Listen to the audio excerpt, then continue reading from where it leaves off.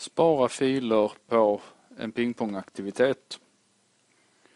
Vi har två alternativ. Ett alternativ är under innehåll.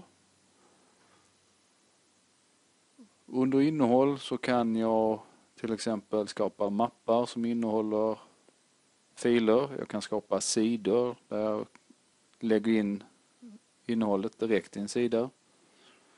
Här har jag då skapat mappar och under föreläsning så finns det då ett filarkiv som innehåller den veckans powerpoints.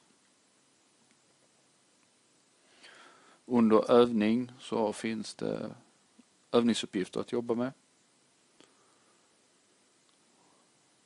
Videofilmer har jag då gjort en HTML-sida där jag då har helt enkelt kopierat in filmen och den ligger då som en sida och innehållet kan visas direkt ifrån aktiviteten.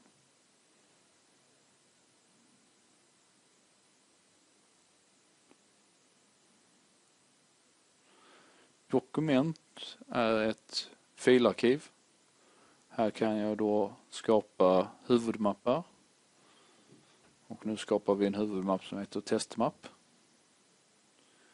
Vi kan se var vi vill placera den. Och här vill vi placera den aktivitetens dokument, alltså huvudtoppmenyn.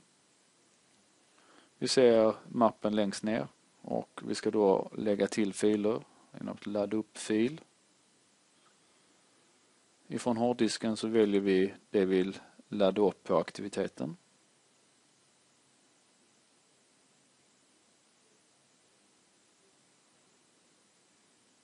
Här vill jag ladda upp en pdf-fil som beskriver besticksföring i sjökort.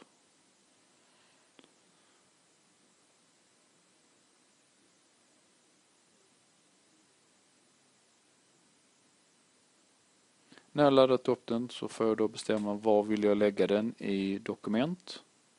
Och här så klickar jag mer ner till att lägga den under testmappen.